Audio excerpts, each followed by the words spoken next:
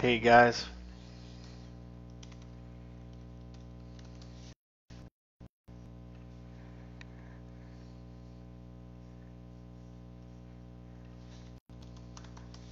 Can y'all hear me out there? Go ahead and chat on the side if you can hear me. Just waiting for people to, to log in. Give it a couple minutes. Trying to fix an issue at the same time while I'm talking to you guys, so I'm doing a little bit of double duty here.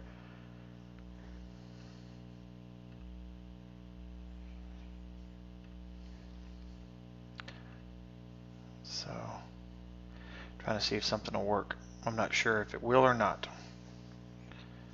but I'm trying.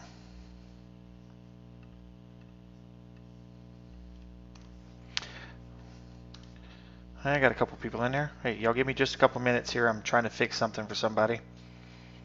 Uh, let's see.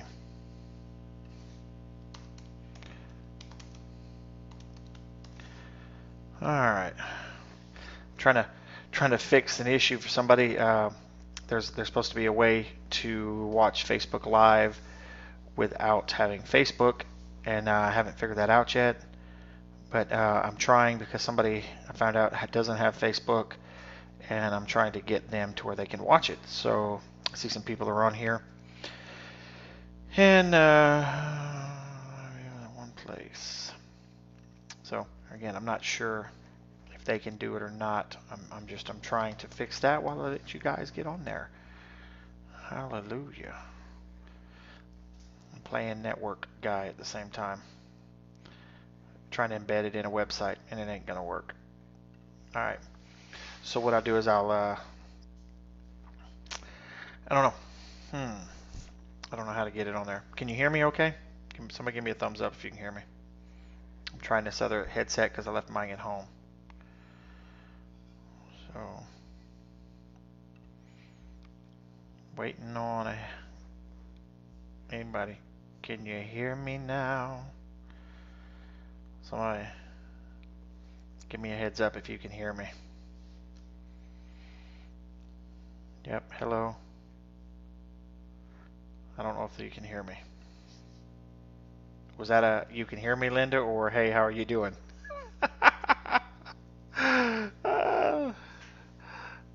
Yes, they can hear me. Okay, thank you. Well, I didn't know if somebody was liking it or not. Uh,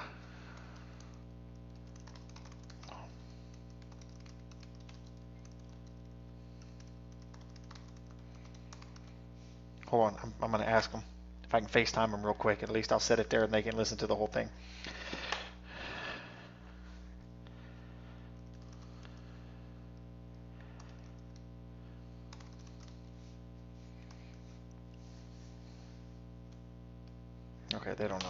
All right, well, that's okay.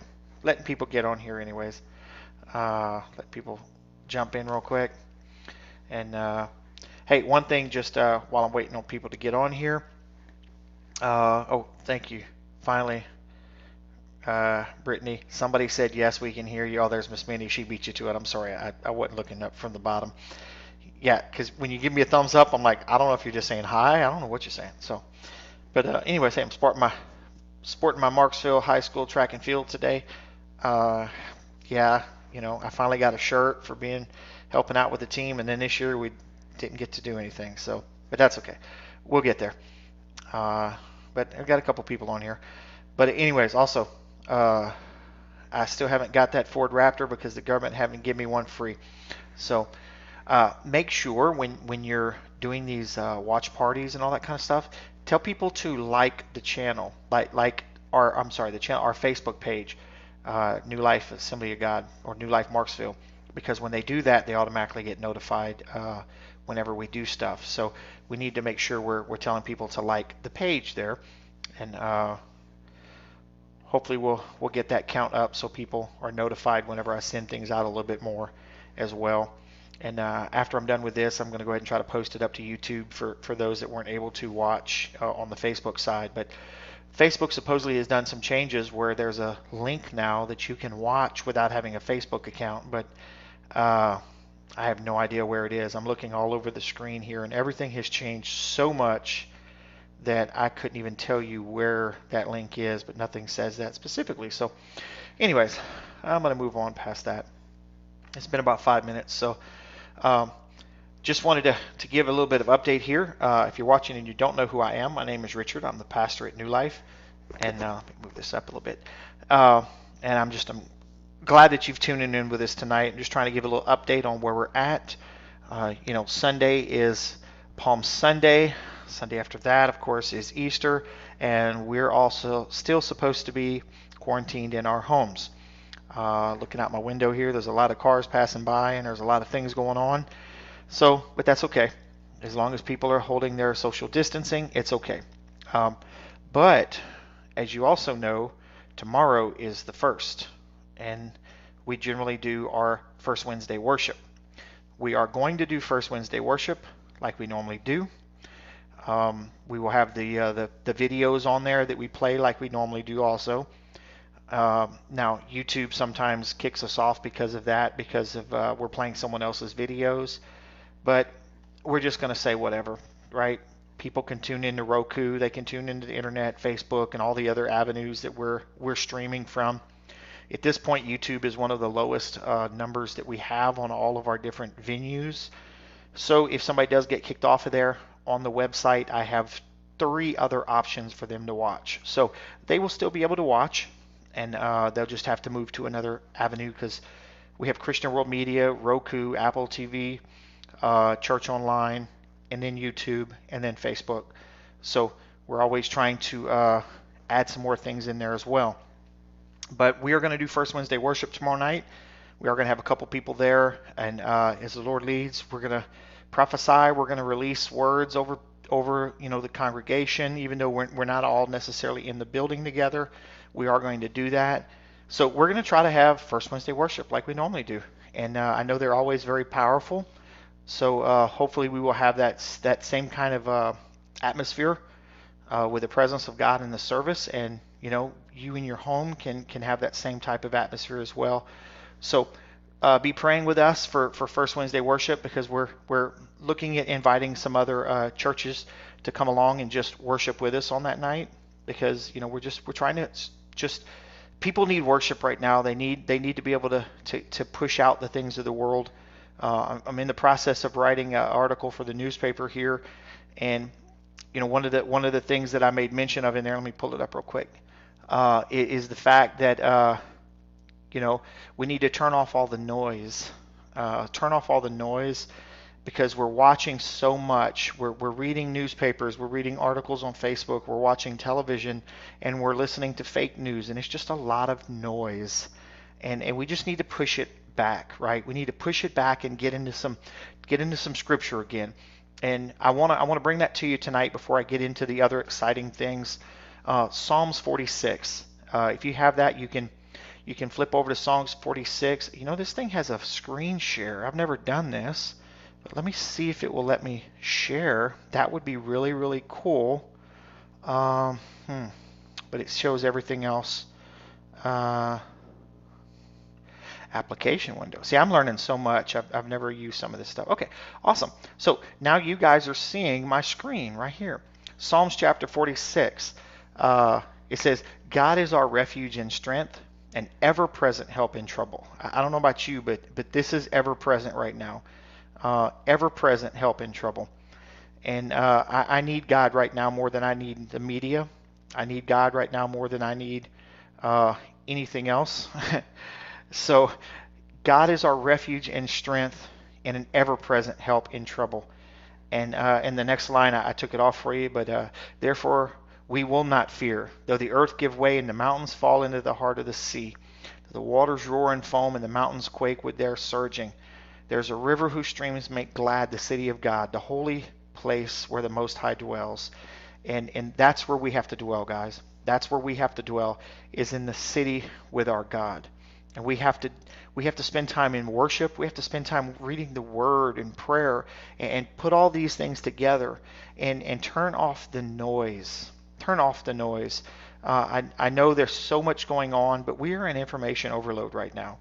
And and I myself, I'm on the internet all day working on my my computer and all the different things, and it just gets to be too much. It gets to be way too much. Uh, so I just want to encourage you to go back to the scriptures. Sit down in the morning when you wake up and read a scripture. You know, read two or three scriptures, read a chapter, but just just allow that, right? Because the, the the Bible says the washing of the word, and it's washing what? It's washing my mind. It's it's taking out those things I don't need. I don't need fear. I don't need worry. You know, all, everything's working out. Everything's going to be okay. But if we continue to allow the noise to come in, we won't hear the word of God. We won't hear the voice of God because things are too loud, right? The worries overpower us. Amen. Uh, so I just wanted to, to bring that to you. That's Psalms 46. Go read that tonight. Um, so, hey, looks like we got some more people joined in there. We got April. Hey, girl, what's going on? Uh, Peggy. Hey, thanks, Peggy. Thanks for tuning in. And and uh, so we got we got Jose down there. We got Mike. Got my buddy Ricky, used to be in the Navy with me, and Brittany, Miss Minnie, uh, Tammy, Linda. Let's see, who else we got in there? I'm just going down. to Beverly's up there. Beverly, the first one in there, of course. Uh, and we're, as let's see. We have to not complicate His word. We need to take His word as it is. Continue to come to Him like children. Yes, thank you very much. So, I wanted to bring that to you to, to, to give you something to, to be thinking on and praying. And then tomorrow night when we come into First Wednesday worship, which will be at 6:30 p.m. Central Time, um, I'll, I'll, make sure that, that you're there. Make sure you share it. We're going to start it about five minutes early. Share it to all these different places and let people enter into worship with us. Amen. Because again, it's going to be like we normally do. We'll have the YouTube videos going, and if somebody feels there was going to be a few of us in the room there, we're going to come up. We're going to speak a prophetic word. We're going to release what God is is speaking to us. Okay, uh, and we're going to do that. Uh, some other exciting things that are coming. Uh, we're, we're trying to get all this worked out, but uh, of course, this is all dependent on the weather. Okay, so uh, again, Palm Sunday is this Sunday, and depending on the weather, we may. Okay, keyword here is may. Right? I'll make sure you find out about it if I'm able to pull this off. We're going to work very hard to do this, but it's all dependent on the weather. Is we're going to try to do a parking lot service, uh, and what we'll do is we'll put a couple speakers outside so you can hear We'll move the worship team out to where you can see it because, again, that's why it's weather related, right? If it's storming, we definitely can't do that. But uh, you'll be able to come into the parking lot and stay in your car, right? Open the doors and listen. Uh, and, and, you'll be able to do that. And uh, we're hoping to be able to do that Sunday. But uh, I finally found uh, an FM transmitter. I, have been searching for weeks and weeks for one of these. Um, and, and, what it is is just a little box. I plug it into the soundboard. I've used them in the past. They're such a low wattage that really, if you're outside of our parking lot, it won't even work. So what we'll do is, is you'll be able to come in and turn your car radio to whatever station we find is available in our area. We'll make sure you know that. You'll be able to pull into the parking lot, turn your station, your FM radio on in your own car, and listen to the service live. And we will be right there under the front awning so that you can see us. We'll have the live worship team, we'll have the, the live preaching, but you'll stay in the car. And again, as long as the weather is okay, this Sunday we will use the speaker because uh, the, the transmitter's coming. It's coming from China. Pray for us. We're going to disinfect it first, but uh, it's it's going to take some time, right? And it's the only one I've been able to find. Uh, and so hopefully it'll get here before this Sunday, but I really don't think so. But either way, uh, if everything's good, we'll have the speakers out there for you to be able to come into the parking lot. You won't be able to come into the building. You'll have to stay in your car, right? Uh, I've talked to uh, our district attorney, and uh, you know you have to stay in your car. We're, we're going to try to practice that, uh, so you'll be able to come to church and do that. Now, even more exciting than that is is Easter Sunday. I have ordered the little cups. Uh, I should have took a picture. That would have helped you guys. It's a communion cup that's got the wafer built into the top, right? So we can order those. When we get them in, we'll keep them sealed in the box. And that way on Easter Sunday, we can take communion together. And, and what that would look like is, is, is we would have people, uh, we'll put some masks on them if we have to, with some gloves, and we'll basically come and pick them up and drop them into your hands so that you don't have to worry about touching, right? So we can keep our six foot distance and uh, practice safety. Uh, and we'll put them in your hands, and you'll basically open them up and get the bread, and open them up and drink the juice. So we will be able to take communion together on Easter Sunday, uh, at least on Easter Sunday. So because they won't be in until next week, Uh, again, everything is so backed up on shipping. There's no such thing as Amazon Prime right now. Um, there's nothing overnight, two day, three day. Everything's like a week.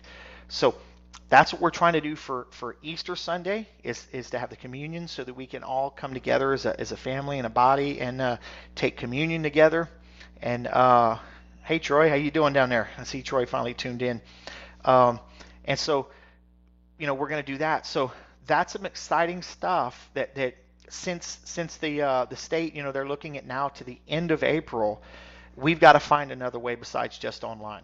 I don't know about you, but but online is nice, but it does not it does not fulfill the need that I have to assemble and and be with like believers, right? Even if I'm just waving at you across the parking lot, waving at you on the screen, guess the only thing I see when I'm on my screen is me. Yeah, so uh, you know it's going to be a little bit extra work on us, but I think we're all up to it, and um, we'll be able to do that. And the other thing is, is, uh, is you know, we're going to invite everybody to come. Now, I think our parking lot right now has about 70, around 70 spaces. So we may have to jam some cars in, uh, but that's okay. We're, we're not crying about that, right? And uh, that means we'll be able to do this on Easter at least, and uh, we'll be able to. Uh, yes, ma'am. As many as I miss my family too. We miss you. And uh, hey, Barbara, how you doing? I see somebody else is tuned in over here. Uh, and so we're going to try to figure out how we can do this and remain safe at the same time. Because again, we don't want this to keep spreading. We're praying against it. I believe God is is killing this virus, but at the same token, we want to respect the, what the leaders have given us. Uh, those people that are a lot smarter than I am. Uh, I know a lot of things about a lot of things, but I've never been a scientist. I don't want to be a doctor.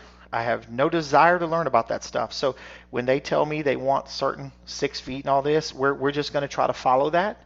And uh, so we can get rid of this crazy virus so we can all get back to our lives again. Amen. I, I know if I said amen on that one in church right now, I would have a unanimous amen. So um, we're gonna we're gonna start doing some things on that. And listen, I want to challenge you also, uh, like I did Sunday, to pray for your community. And what I mean by that is the houses that are right around you. That is your community. That is your Jerusalem. Pray for them, right? And if everybody prayed for the houses that were around them, everybody would be getting prayed for by somebody else and maybe two or three somebody else's. Okay? So I want you to continue to pray for people around you. Why? Because not everybody is taking this so well. Okay? Some people are really starting to struggle with with uh, being stuck in home, the quarantine. Uh, people, you know, I, I know that they're sending out these these checks and everything, but none of that comes today. And some people have needs today, amen. And so pray for them. Pray the peace of God that surpasses all understanding would just would just flood their homes. Okay, pray that that if they don't know Christ, that they will come to know Christ during this time, because I, I do believe that there's there is a push coming where, where people are going to flock to the church. Amen. They're, they're going to flock to the church because they, they need hope right now. And the government can send checks, but that's not hope. All right. Money is not hope. We know that as a family. And so we need to make sure that, that people have hope, and that only comes through Jesus Christ. Amen. So uh, make sure you're praying for the people around you. Make sure you're encouraging people daily.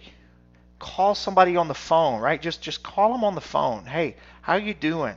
You know, I I was writing something the other day, and and and I think I made mention of this Sunday just a little bit uh, as well. That, that the reason we don't call each other is because we really don't know each other. So if we don't know each other, it's awkward, right? We'll we'll text them or we'll message them on Facebook, and and that's okay. But call them on the phone. Call them on the phone and talk to them. Hey, brother, hi, sister, how you doing today? Right? you know hey can i pray for you or hey can i can i give you an encouraging word or just just do those kind of things why? Because right now we're all separated. We're all separated except through camera and through digital. But there's still something about a voice that talks back to you. Because right now, again, I'm reading the amens on the side, but I don't hear any of it. So call them on the phone. We have the technology. Call them on the phone. You know, text message is great. Send them a text message. Say, hey, can I call you? And, and just talk to people because right now there's so much isolation going on that, that I believe it's going to begin to affect people because what's happened is as people have been separated and after a while of being separated, they're going to get used to that. And that's going to become their new normal. And, and that's the same thing we have to worry about with the church is people are going to become so accustomed to sleeping in on Sunday morning that they're not going to come to church. They're going to think that I can live my life without God. And that's a dangerous place to be. Amen. So, you know, I want to encourage you to call people on the phone, be praying for them. There, there's the government is releasing checks to people in, in all these different financial ways. Uh, so there's going to be money flowing. But again, you're not supposed to be out on the streets just running the roads. You're not supposed to be in the stores and all that. So I want to encourage you to continue to be safe. Okay. Uh, we're continuing to pray for you as our family of, of believers. This is our church family, and, and we pray for you. I pray for you daily. I plead the blood of Jesus over you. This has been my prayer. Uh, I've, I've prayed this over a few people specifically with, with issues in, that were going on medically in their life. And I want to challenge you to pray this over your family as well. Okay, so if you're the, the man of the house uh, or if you're the woman of the house, if you don't have someone there with you, pray this over your home and over the family that lives there. Okay, just as in Egypt, the death angel had to pass by when the blood of the lamb was applied to the doorpost, right? You see the door behind me, the doorpost, the blood of the lamb, well, that's difficult. The blood of the lamb was applied to the doorpost, the death angel had to pass by. As the blood of the lamb is applied to the doorpost of my heart, right? Jesus is the door, okay? As the blood of the lamb is applied to the doorpost of my heart, that virus must pass by. And I plead that over my family Okay? So just as the death angel had to pass by in Egypt because the lamb, the blood of the lamb was applied to the doorpost, the virus must pass by because the blood of Jesus Christ is applied to my heart. And I speak this over my family and I declare it over them. The virus must pass by. It cannot stay here. It has no no right to be here anymore. Amen. So I, I want you to just just pray that over your, your family. Okay. Uh, another thing uh, you, you can do, I've, I've, told you this before, is, is take communion as a family. Grab you some Ritz crackers and some juice, uh, some bread. It doesn't matter. It, it's a symbol that the Lord gave us in the Word of God, is to come together and break the bread. So I challenge you to do that in your family as well. Okay, break the bread. And, and Lord, as your body was broken for me, it was broken for my healing. And I receive it now. And I take this bread and I receive health into me and you give that to your family. So again, you're releasing that. What are we doing? We're praying the Word of God. We're speaking the Word of God. And there's more power in that than, than anything I can say. There's power in the Word of God. Amen.